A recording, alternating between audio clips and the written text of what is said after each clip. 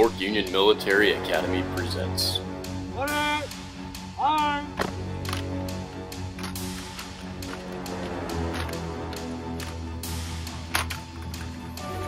The culmination of seven months of dedication, hard work, and perseverance.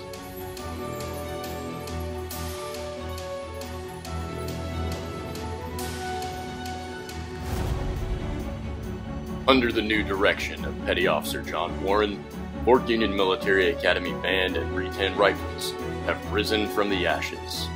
Join us March 19th on the Big Ten Network as our finest cadets present the colors at the Capital Classic Lacrosse Tournament at 3 p.m.